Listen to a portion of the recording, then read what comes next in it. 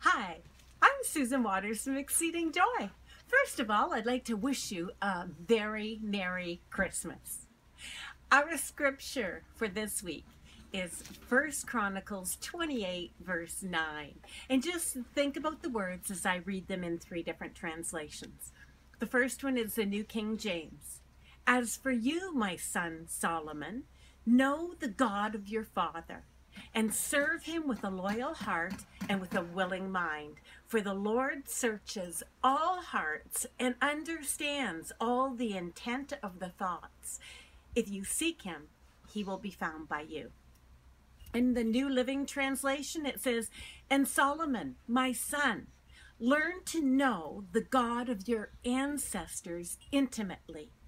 Worship and serve him with your whole heart and a willing mind.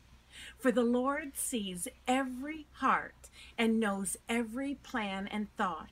If you seek him, you will find him. And the last one from the Amplified Bible.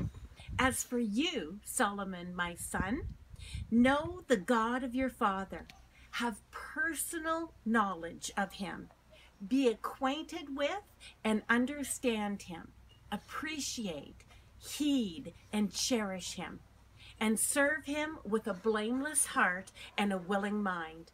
For the Lord searches all hearts and minds and understands every intent and inclination of the thoughts.